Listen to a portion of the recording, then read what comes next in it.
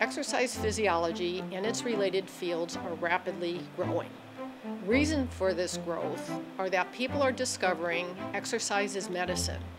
And coursework in this exciting field is excellent preparation for employment in many health-related professions. To help meet the demand for continuing education in the exercise science field, UConn now offers an online graduate certificate program in exercise prescription. This nine credit, three course e learning certificate can help you advance your own knowledge base in this dynamic field, preparing you to take your career to the next level. The content for this online certificate program is based on the American College of Sports Medicine's guidelines for exercise testing and prescription.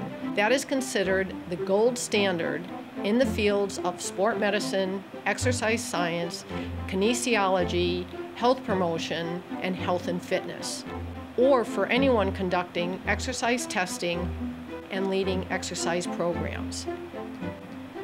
I had the opportunity to be the senior editor of the ninth edition of these guidelines and will be the lead course instructor for each of the three courses that consist of the exercise prescription certificate.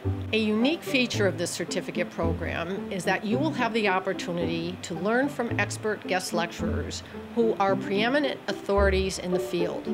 By taking this certificate, you will be learning from and networking with people who are at the cutting edge of the exercise science industry.